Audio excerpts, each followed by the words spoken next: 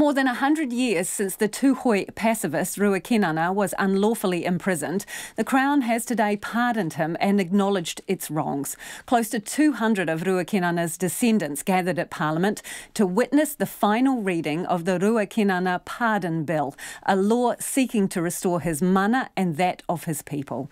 Te Aniwa Hurihanganui was there.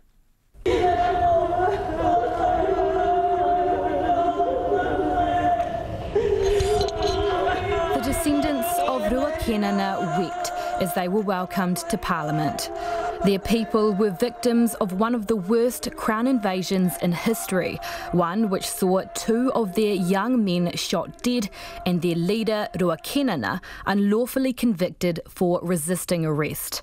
Kaumatua Richard Tumarai struggled to find the words to describe the pain his people have endured ever since. It's uh, about the murder, the rape, the looting, and all the other atrocities that were committed by the Crown when they invaded Maungapohatu 1916. It, it really hard for me personally hard to put into words. Um, but to actually put it into words, it's, um, it's probably uh, more than I can say. Rua Kenana built a peaceful religious community at Maunga Pohatu in the heart of Te Urewera, but the government grew suspicious of the Tūhoe prophet and accused him of sedition for objecting to the conscription of Māori men into the armed forces. In 1916, the government ordered more than 70 armed officers to invade his settlement and later convicted him for moral resistance.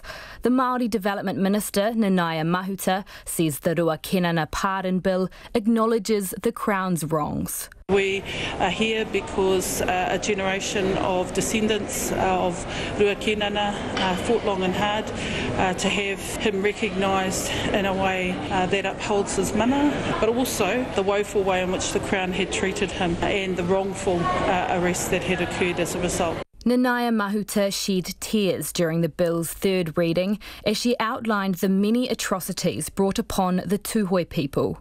Tūhoe recollections of these events are that some of the women were raped by police.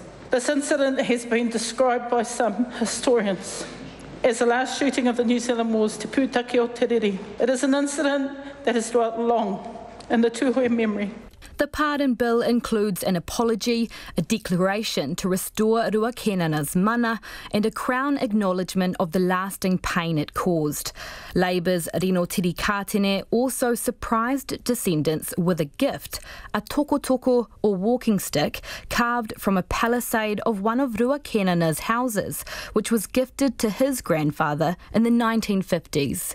It's been cherished by uh, uh, my whānau, and um, but what better time to um, return it to, to the whānau uh, than on this occasion. 15 year old Wefetu Temara grew up knowing the stories about Rua Kenana and the Crown's treatment of him. His one wish from here on is that more New Zealanders will know the stories too. I think just our people from Maungapohatu know, but not the rest. So yeah, I think everyone else needs to learn about it.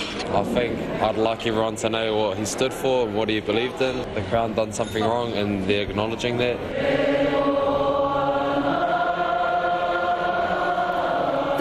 Third reading has been hailed a milestone for the Tūhoe people, but the journey hasn't ended yet.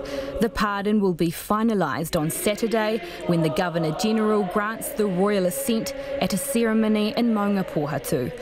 Mo te hōtaka o te ahiahi, ko te aniwa, hurihanga nui, aho.